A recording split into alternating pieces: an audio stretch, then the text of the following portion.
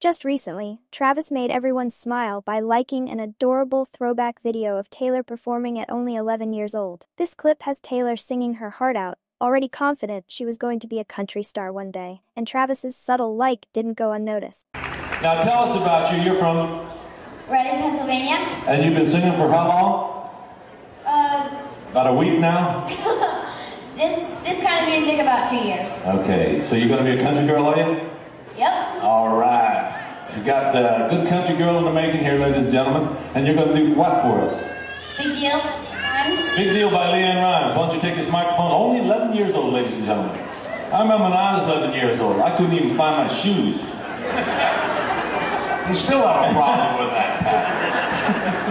Okay, here you go. Take this mic.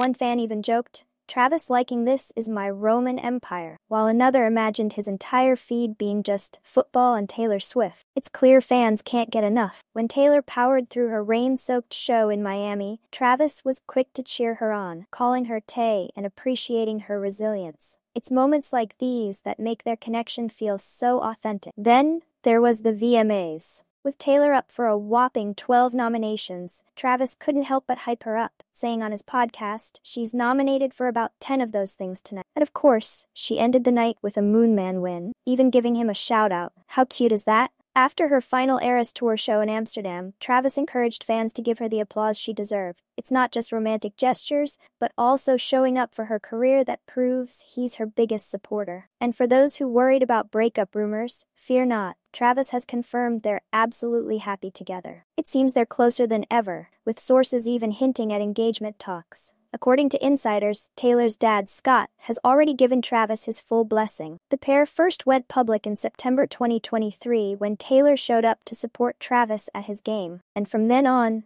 they haven't shied away from a little PDA. They've become one of the most loved celeb couples of 2023. From liking throwback videos to hyping her up before big events, Travis Kelce has proven he's Taylor Swift's biggest fan. And honestly, we're all here for it. What's been your favorite Travis and Taylor moment? Let us know in the comments, and be sure to like, subscribe, and hit that notification bell for more updates on your favorite celebs. Thanks for watching, and we'll see you next time.